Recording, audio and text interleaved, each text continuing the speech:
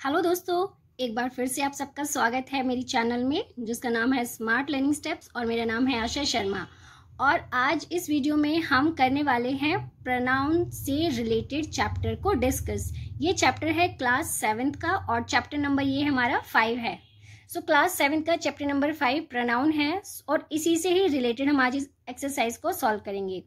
Pronoun क्या होता है? आई होप आप सबको पता होगा। प्रनाउन होता है जो नाउन की जगह पे यूज़ करते हैं। तो ये इसको एक छोटी सी इसकी डेफिनेशन होती है। अब आता है कि काइंड्स ऑफ़ प्रनाउन कितने टाइप्स के प्रनाउन होते हैं। तो आप देख सकते हैं, ये एक चार्ट भी यहाँ दिया हुआ है।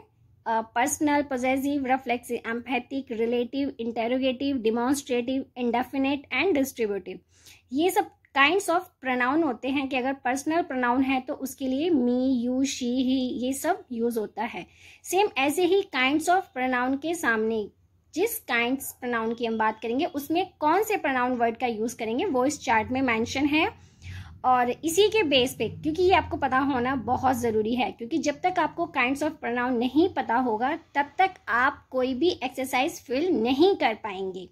ठीक है? तो ये हो गया इसके काइंड्स ऑफ़ प्रनाउन का चार्ट अब हम करते हैं इसकी एक्सरसाइज वन के बारे में डिस्कस कि एक्सरसाइज वन में क्या पूछा जा रहा है। एक्सरसाइज uh, वन इसमें पूछ रहे हैं complete the sentence with the correct form of pronoun हम कई बार क्या करते हैं इतना ओवर कॉन्फिडेंट होते हैं हमें लगता है हमें तो सब पता है नाउन प्रनाउन क्या होता है ही शी इट लेकिन इसको करेक्ट फॉर्म में रखना और सेंटेंस को करेक्ट करना that is a very big thing उसके लिए हमें टाइप्स के बारे में पता होना बहुत ज़रूरी होता है। अब देखिए, जैसे फ़र्स्ट है, Rama and dash were present mostly बच्चे क्या करेंगे? इसमें मी लिखेंगे, रमा एंड मी बट नहीं, यहाँ पे मी नहीं आएगा प्रोनाउन आई का यूज़ करेंगे। तो Rama and I were present second है you are smaller than dash तो ही होगा हिम नहीं होगा। You are smaller than he I know that was she fourth है he is taller than I let you and dash try what we can do so यहाँ पे आएगा me let you and me try what can we do तो इस तरह से हम exercise one में जो हमें दो ऑप्शन दिए गए हैं, उसमें से हम एक करेक्ट ऑप्शन को चूज़ करके एक्सरसाइज को कंप्लीट करेंगे। तो ये थी हमारी एक्सरसाइज वन अब हम करते हैं इसी chapter chapter number five pronoun की अगली एक्सरसाइज को डिस्कस सॉरी सॉरी सॉरी अभी एक्सरसाइज वन कंप्लीट नहीं हुई है हमारी। यहाँ कुछ अभी और सेंटेंसेस हैं। सिक्स uh, है you know that as well as dash तो यहाँ पे आएगा I seven we are not so poor as dash they Rama is as old as dash I he is known to my brother and dash me they are far better singers than dash we whom can I trust if not dash him? Like dash, who can answer this question? He. So, जो मैंने underline किए हैं bracket में, में दो option है कौन सा ऑप्शन हमें फिल करना है करेक्ट ऑप्शन के नीचे मैंने अंडरलाइन किया हुआ है तो इन्हीं ऑप्शन को आप इस एक्सरसाइज जो हमारे इनकम्प्लीट सेंटेंस हैं फिल इन द ब्लैंक्स हैं इसमें आपको फिल करना है और सेंटेंस को कंप्लीट करना है।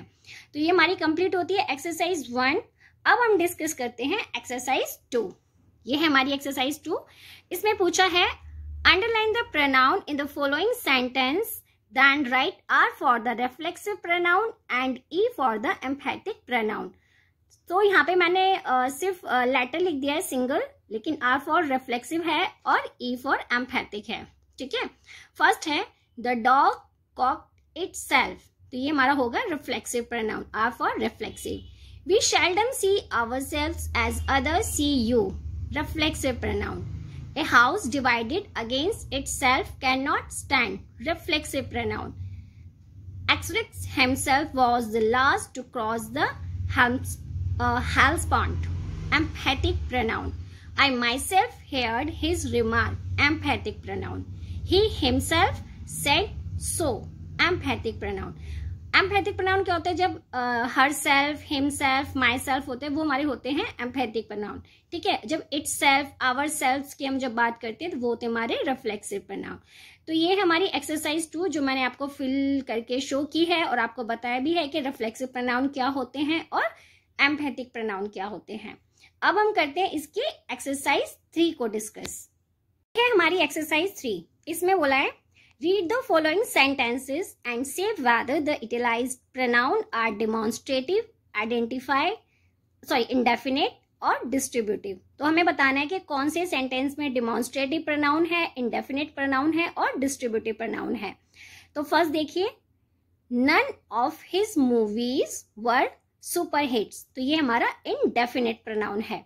Second that is the India Gate demonstrative pronoun demonstrative क्या होता है? जब भी किसी सेंटेंस में आपको दिस दैट दीज दोस्त दिखता है तो वो हमारा डिमॉन्स्ट्रेटिव होता है।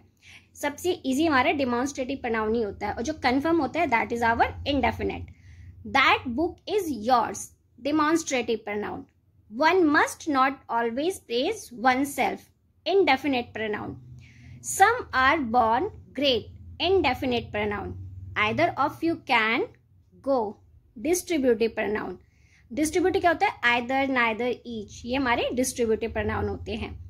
These cows cost ten thousand rupees each distributive pronoun. The two women hate each other distributive pronoun. The strange is welcome sorry the stranger is welcome as such demonstrative pronoun. Our soldier were better drilled than those of enemies. Demonstrative pronoun demonstrative pronoun हमारे होते हैं। जब आपको किसी भी sentence में this that these those दिखता है तो वो हमारे होंगे demonstrative pronoun such as be right और और जब भी आपको कोई, आपको उसमें कंफर्मेशन मिलता है, वो हमारा होता है indefinite pronoun so I hope आपको ये एक्सरसाइज थ्री भी अच्छे से समझ में आई होगी। अब हम करते हैं इसकी नेक्स्ट एक्सरसाइज को डिस्कस ओके okay? ये है हमारी एक्सरसाइज फोर और last exercise of this chapter इसमें पूछ रहा है complete the exercise with who whom whose which और वेयर मतलब क्वेश्चन वर्ड्स हैं सारे बट इसमें आपको इन क्वेश्चन वर्ड को कौन से क्वेश्चन वर्ड को ऐड करके सेंटेंस को करेक्ट करोगे? सो so, फ़र्स्ट में होगा whose what's the name of the man whose car you board second है a pacific is a person who believe that all words are wrong third है the place where we spent the holidays was very beautiful. Fourth, I don't know the name of the woman to whom I spoken on the phone. 5. Ron and Jessica, who had got married last year, recently bought a new house. 6. Their new house, which they bought, was quite cheap. So, first में who, second में who, third में where, fourth में whom, five में who and six में which ये हम question word लगा के इन सेंटेंस को कंप्लीट करेंगे। तो ये थी सिर्फ़ आज की ये exercise exercise one two three four जो मैंने आपको इस वीडियो में समझाया एक्सप्लेन किया, और आई होप आपको अच्छे से समझ में आ गया होगा कि नाउन काइंड्स ऑफ़ नाउन क्या होते हैं, कहाँ कहाँ उसका यूज़ करना होता है क्या क्या इनके डिफरेंसेस होते हैं बीच में। और प्लीज़ गाइज़ कमेंट्स करके ज़रूर बताइएगा आपको वीडियो वीडियो कैसी लगी। और अगर आप कुछ पूछना चाहते हैं, कुछ शेयर करना चाहते हैं so most welcome you can share your views your opinion in a description box and thank you so much for watching this video and have a good day